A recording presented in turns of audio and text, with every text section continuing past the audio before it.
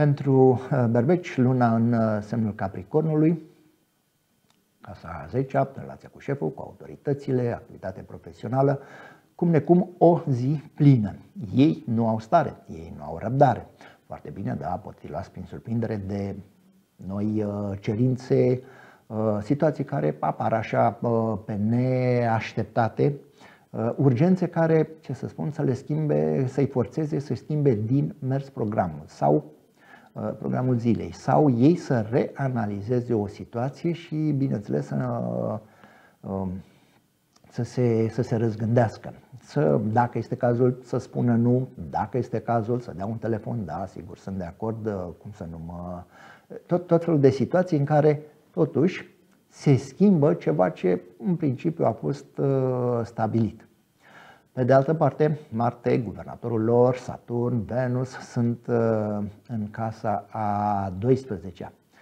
Pentru berbeci, da, dintr-un punct de vedere poate că nu este o perioadă uh, prea bună, în sensul că acum au tendința să-și aducă aminte de experiențe mai puțin plăcute din uh, trecut.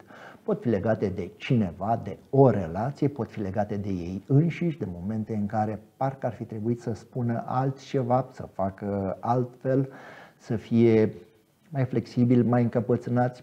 Sigur, este la latitudinea lor, ei știu ce ar fi trebuit să facă altceva, iar acum stau să gândesc dacă apare o situație, să spunem, similară, mm, sunt hotărât să fac lucrurile cu totul uh, altfel.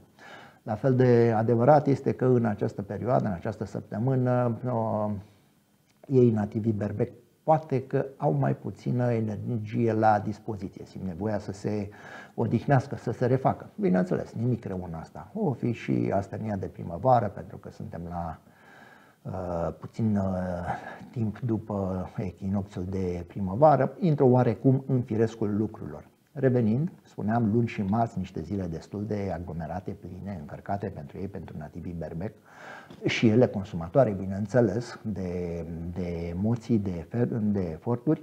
Apoi, uh, miercuri și joi, zile și vineri, zile bune pentru încasări, foarte bine. Poate pot veni niște bani, evident, tot, tot pentru acele activități Uh, realizate de ei în un regim de urgență sau pentru prima oară. E adevărat, Mercur, retrograd, încurcă cam pe toată lumea.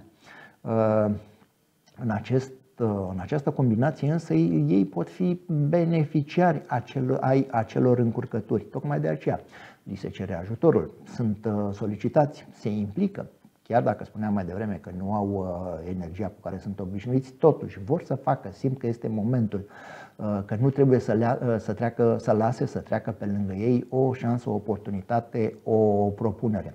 Din acest punct de vedere, da, cu siguranță o săptămână bună pentru ei. Chiar și cu acele încurcături care par să nu îi deranjeze pe ei foarte tare.